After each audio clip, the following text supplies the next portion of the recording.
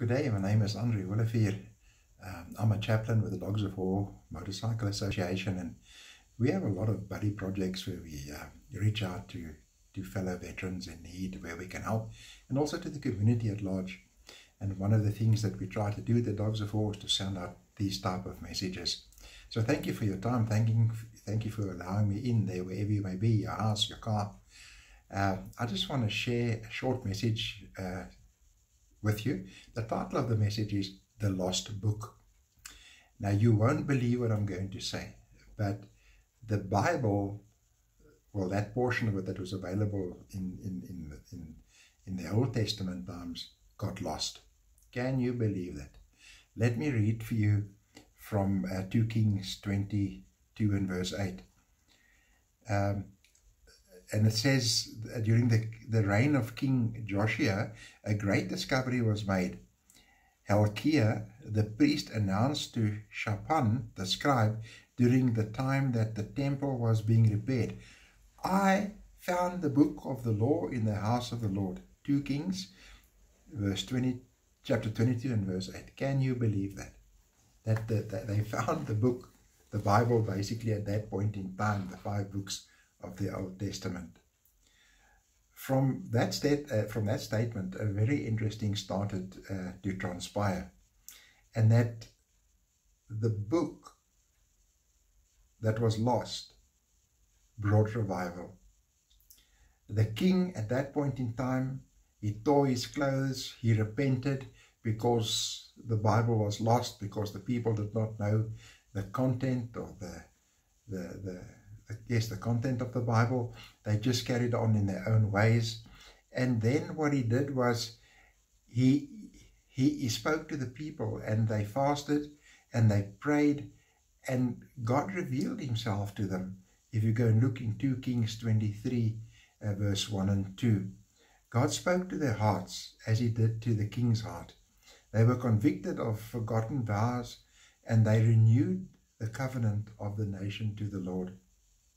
Revival came in response to finding the book. Now let me ask you, and it will remain a secret between me and you, how many Bibles do you have in your house? Where are they? Have you read them? Do you know what uh, the contents of that book is, the 66 books in the Bible? Do you know that Jesus overcome Satan when he was tempted with just three scriptures. The word says in James, resist the devil and he has to flee. Not if he wants to flee, if he considers to flee, he has to flee. But you have to know what is written in the word. Jesus just said, It is written. He did not quote a book, a chapter, or whatever. When it is written, it is written. It is God's word. And if you use that word, the enemy will and has to listen to that word. All of the weapons that you have, spiritually speaking, are defensive. The helmet, the breastplate, the belt, the sandals, and so on. Only the sword, which is the word of God, is a Christian's offensive weapon, a weapon with which you can attack. But how do you attack if you don't know what is in the word? If you buy a new firearm um, and you don't know how to use it, it really means nothing.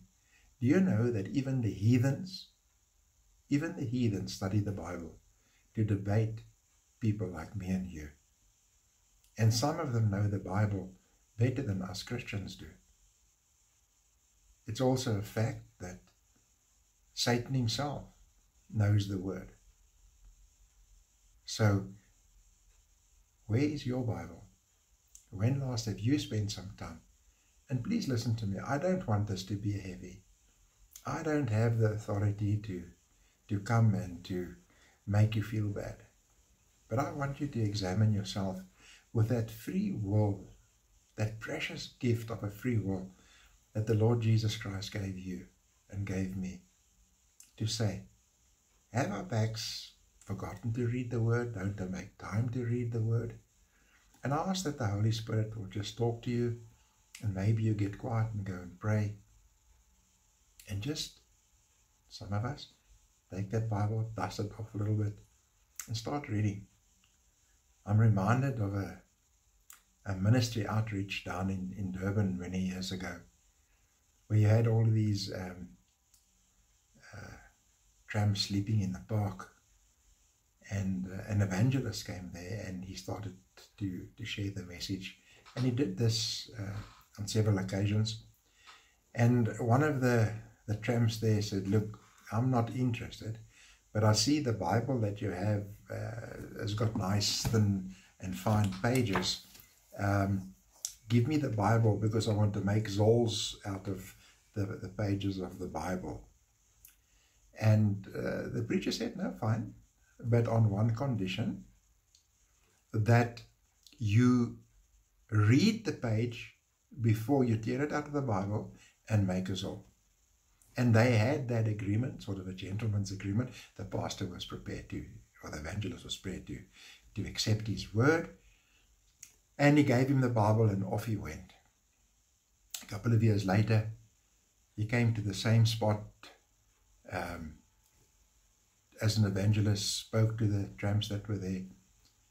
And he was approached by a man dressed in a suit, obviously very well off. And he approached the evangelist and spoke to him and said, Do you recognize me? Do you remember me? And the evangelist said, No, I'm sorry, unfortunately not. He said, I was the tramp that you gave the Bible to. And I did my upheld my side of the bargain. And every time I wanted to uh, turn a zol, I read the page first and then I made the zol. He said, I smoked through Matthew, I smoked through Mark, and when I got to John in the Bible, it smoked me. He gave his heart to the Lord. He's a big businessman and he supports the ministry right now. The word is beautiful and it can only mean something to you if it costs you something. Something that doesn't cost you something, doesn't cost you time um, or energy or, or things like that. It won't mean much to you. So I want to encourage you. Find the Bible, find a translation, and start to study it. And ask that the Holy Spirit would illuminate certain things to you. Not that you're just reading or listening to what other people have said. What is the Holy Spirit conveying to you? What is He breaking open in the Word to you? And just a little bit of maybe friendly advice, if you will allow me. If you do have a couple of spare Bibles lying around, why don't you go out and go and give it to a tramp? Ask him to, to read the pages before he uses it for whatever he wants to use. And maybe you will also experience a miracle. Please allow me to pray. Father God, we just adore you and we love you, Lord. And we thank you for your precious word, Lord. Lord, most of us, if not all of us, including me, Lord, we thought we were on the path, Lord, until we met you face to face, Lord. En Here het ons net kom omkeer, Here. Thank you, Father God, for your precious word. Thank you for Jesus. Thank you, Father, for the death and the resurrection. Thank you that you are seated on the right hand of the Father, interceding for us on a daily basis. Lord, I pray your protection over us, Lord. Thank you for your, your mercy, your grace, your love, your provision, Lord, for our health, Lord. Bless every person listening to this, Lord. In your wonderful name I pray. Amen and amen. Stay blessed until we speak again. Bye bye.